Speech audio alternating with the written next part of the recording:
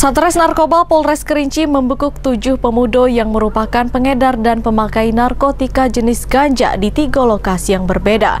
Dari tujuh pelaku, lima di antaranya diamankan ketika tengah asyik pesta narkoba. Penangkapan pelaku berawal dari laporan masyarakat bahwa di salah satu rumah makan di kota Sungai Penuh terdapat seseorang yang memiliki narkotika jenis ganja. Informasi tersebut langsung ditindaklanjuti jajaran Satres Narkoba Polres Kerinci dengan melakukan penyelidikan. Alhasil berdasarkan penyelidikan tersebut polisi mengamankan salah seorang karyawan rumah makan berinisial Y 22 tahun warga Kotolanang beserta barang bukti berupa tiga paket ganja dengan berat 7,05 gram.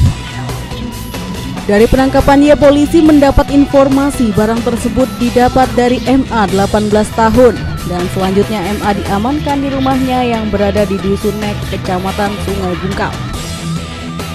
Dari keterangan Y dan MA, petugas mendapatkan informasi jika mereka kerap mengkonsumsi ganja secara bersama di ruang PKK kantor Camat Sungai Penuh.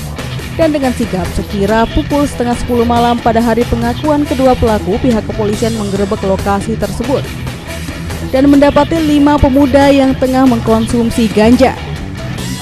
Kapolres Kerinci AKBP Dwi Mulyanto mengatakan lima pemuda yang diamankan tersebut yakni GP 18 tahun warga desa Permenti Kecamatan Pondok Tinggi, EF 19 tahun warga desa Renah Surian Kecamatan Pondok Tinggi, TS 17 tahun warga desa Gedang Kecamatan Sungai Penuh, BE 20 tahun warga Dusun Baru Kecamatan Sungai Bungkal dan ZD 20 tahun warga Desa Pelayang Raya Kecamatan Sungai Bungkal. AKBP Dwi Mulyanto menuturkan dari hasil penggeledahan kelima pemuda tersebut ditemukan barang bukti narkotika ganja sebanyak 20 paket dan satu linting ganja siap hisap. Kini pihak kepolisian tengah melakukan penyelidikan oknum pemasok ganja tersebut dengan sudah menjadi status target operasi Polres Kerinci. Pada ruangan camat tersebut, khususnya di ruang PKK, kita mendapatkan uh, lima orang yang sedang menggunakan ganja dengan inisial yang pertama ZD, kemudian GP, EF, TS, dan BE. Nah, kemudian kita melakukan penggeledahan terhadap yang bersangkutan. Kita mendapatkan BB 20 ya paket ganja dan satu linting ganja. Ganja-ganja ini didapatkan dari seseorang atas inisial yang pertama ya atas inisial GP dari GP kemudian diserahkan kepada TS yang statusnya TS ini adalah masih di bawah umur itu umur 3, uh, 17 tahun.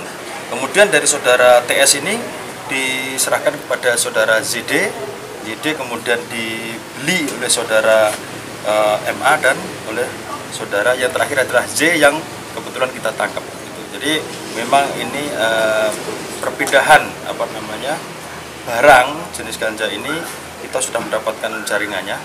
Namun uh, siapa yang membawa pertama barang itu untuk saat ini masih dalam lidik ya itu kita masih TO kan.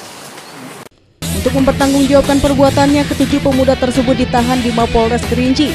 Guna proses penyelidikan lebih lanjut, para pelaku dijerat dengan pasal 11 ayat 1, pasal 111 ayat 1, dan pasal 114 ayat 1 Undang-Undang Nomor 35 Tahun 2009 tentang psikotropika dengan ancaman penjara maksimal 20 tahun. Henry Jack TV melaporkan.